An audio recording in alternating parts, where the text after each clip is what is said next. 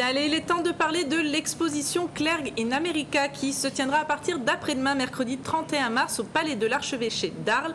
Alors, Lucien Clergue, vous présentez 150 photographies qui évoquent votre vision de l'Amérique, une histoire qui remonte il y a exactement 50 ans. Racontez-nous comment vous avez découvert New York pour la première fois. Eh bien, pour vous dire la vérité, c'est à Marseille que je l'ai découvert. Oui. Car lorsque j'étais jeune, je pense que je devais avoir 18-20 ans, c'est donné à Marseille des représentations de Porgy and Bess, de Gershwin, avec Dorothy Dandridge, avec Cap Calloway. Et euh, c'était extraordinaire. C'était vraiment un des grands chocs de ma vie. Ouais. Et donc euh, voilà, et puis peu après, euh, j'ai été invité à exposer au Musée d'Art moderne de New York. J'avais 27 ans, c'était en hein. 1961, le fameux MoMA, le mythique MoMA. Et euh, j'y suis allé avec une idée en tête, c'est que, je, évidemment, j'étais très honoré d'exposer, mais je voulais voir le tableau de Picasso Guernica. Ouais. Et j'ai vu que pour aller voir le tableau de Guernica, on traversait les salles de photographie. Et c'est comme ça qu'est né ensuite à Arles tout le, la grande saga de la photographie, car j'ai dit à mon ami Rouquette, conservateur du musée, s'il faut traverser les salles de photo pour aller voir le chef-d'œuvre du XXe siècle, c'est que c'est, important. et voilà. Et donc j'ai ça. photographié New York, puis par extension, je suis allé dans dans les déserts, parce que le sable est mon, est mon commun dénominateur, les sables de la vallée de la mort, de, de White Sands, où on a expérimenté la bombe atomique. Et pour contrer la mort, j'ai amené la femme nue, qui est le symbole de vie. Alors, vous êtes né euh, à Arles hein, et vous avez euh, pourtant l'impression de vous sentir chez vous euh, en Amérique. Quelles caractéristiques vous retrouvez de la Camargue aux États-Unis? Est-ce que c'est la lumière. Voilà. Ah, la lumière est formidable. La lumière de New York est une lumière fantastique. Oui, ça, alors, à couper au couteau. Et les déserts, est-ce qu'ils vous font penser aussi Ah, ben, euh, aux déserts, terres oui, sauvages de la Camargue? Moi, j'adore le sable parce que c'est doux, c'est souple, c'est jamais dur, hein, c'est très féminin le sable. Et donc, voilà, j'y suis à l'aise. Alors Anne, vous êtes le commissaire d'exposition hein, de cette exposition Clergue in America. Est-ce que c'est facile de travailler avec euh, son papa? Euh, oui et non. oui et non, ça, ça, ça l'est. Et puis bon, bien évidemment, on n'est on n'est pas toujours d'accord euh, sur le choix Comment des vous avez photos, sélectionné pas justement les longtemps. photos Comment C'est vous pas- qui avez eu le dernier mot pour euh, la sélection des 150 pas photos toujours, pas toujours, non, non. Euh, Parfois c'est lui qui l'a, parfois c'est moi, ça dépend. Mais c'est intéressant parce que euh, lui, il, il voit des, des- il s'arrête sur des choix que moi j'ai pas forcément vus. Et puis ça peut être aussi le contraire. Euh, J'insiste pour avoir une photo qui, à laquelle il pensait pas particulièrement. Et puis finalement, à la fin, il est très content. Il vous emmenez beaucoup dans ces voyages, dans ces Non, road trips en américains fait. Non, parce que je dois dire que ces road trips américains, c'était tout à fait ça, des road trips américains. En fait, c'est quelqu'un de très très organisé, comme c'est pas un reporter. Il prépare véritablement son voyage. euh, Il prend, il n'a pas du tout son appareil photo tous les jours, comme les reporters euh, aujourd'hui, mais il prépare véritablement son voyage. Donc, il va choisir son modèle. Il va aller à tel endroit, donc soit la vallée de la mort, Point Lobos ou les déserts de White Sands. En effet, le modèle euh, est tout à fait choisi par rapport au lieu. Tout est cadré, hein, c'est le cas de le dire. Euh, oui, mais tout est cadré, euh, à mon avis, pour faire éclater ce cadre, je pense. Vu, ma. Hervé, une petite question Oui, peut-être. pour revenir, donc, euh, je, je sais que vous avez, vous avez euh, des centaines de milliers de clichés. Ce- pour- 800 000. 800 000. Pour ce qui est des, des- de- des États-Unis, donc euh, vous en aviez combien au départ? Vous êtes à- combien? Ça, je ne saurais pas Vous vous pas dire exactement, mais vous savez, 50 ans à se balader dans les... Enfin, pas tous Vous les êtes allé jours. combien de vous fois aux États-Unis ouais? À une époque, j'allais quatre fois par an. D'accord. euh, vous savez, il y a eu que l'histoire des Twin Towers qui m'a fait un peu baisser.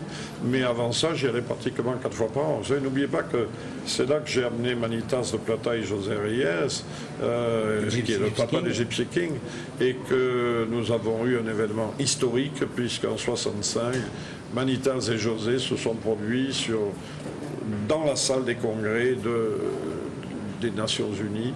Et euh, ça, c'était historique. C'était la première fois que l'ethnie gitane entrait aux Nations Unies. Alors vous êtes fasciné euh, par l'architecture. Est-ce que c'est une passion qui est née avec euh, New York, puisqu'on sait que c'est une ville très géométrique, ou vous l'aviez déjà avant, quand vous viviez vraiment à temps plein en France? Vous savez, je suis un, enfant d'Arles, qui est une ville romaine et romane, tout en arrondi, hein, et où la mythologie a sa part. J'ai même vu, moi, un jour, sur une place, Oedipe aux yeux crevés avec Antigone, hein, un vieil harki aveugle qui se faisait conduire. Mais euh, lorsque je suis arrivé à New York, où c'est le carré de l'architecte, où c'est très droit et très strict, ça a été un choc. Et, et il s'est avéré que l'année d'après, j'allais à Brasilia et l'année d'après à Chandigarh. Et donc j'ai eu trois ans de choc d'architecture qui ont changé ma vision Vous en avez pris plein les yeux. Et d'ailleurs, Oscar Niemeyer, qui est un très bon ami, euh, j'espère faire l'exposition d'hommage pour lui parce qu'il m'a beaucoup inspiré et je sais qu'il s'est inspiré de certaines de mes photos. Ah. Vous avez rencontré Ernest Hemingway, dont on célèbre cette année le 50e anniversaire de la mort. Quel souvenir gardez-vous euh, de cet écrivain? Un souvenir très pratique, c'était dans ce qu'on appelle une tienda où on essaie les petites vaches pour les corridas près de l'Escorial à Madrid. Et euh, il est arrivé avec une valise de la Croix-Rouge. Alors on, était, on se disait que c'était peut-être des bouteilles d'alcool qu'il y avait dedans. Pas du tout, il y a un torero qui s'est fait blesser, crac, il a ouvert la valise et il avait ce qu'il fallait pour soigner le type. Hein, organisé le monsieur. Ouais, ouais, ouais. Grand Vous n'avez pas vu de corrida avec lui en, euh, à Arles Non, je ne l'ai pas vu en corridor. Alors, il est venu à Nîmes, je sais, mais je ne l'avais pas vu. J'étais encore trop jeune pour avoir accès au corrida. Alors vous avez euh, fondé hein, les rencontres d'Arles en 1969, ce qui a permis les échanges entre les photographes américains et les photographes européens. Ça a révolutionné le monde de la photographie quelque part.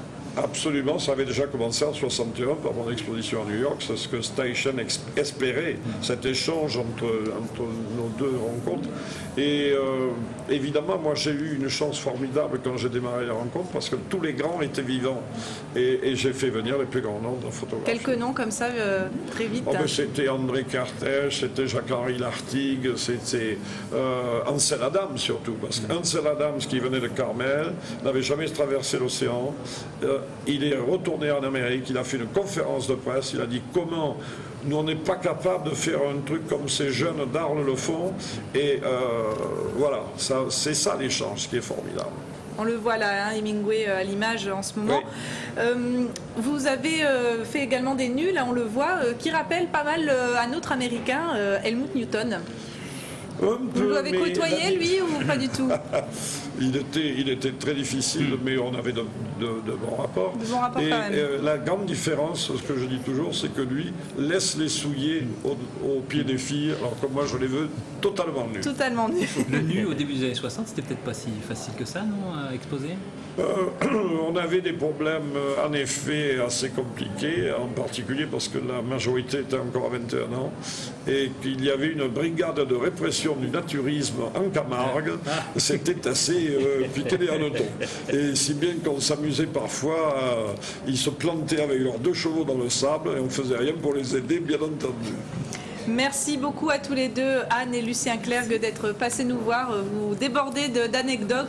On n'a pas de temps malheureusement pour en développer davantage, mais on viendra voir cette exposition in America qui se déroule, je le rappelle, du 31 mars au 1er mai au Palais de l'Archevêché d'Arles. L'entrée est gratuite.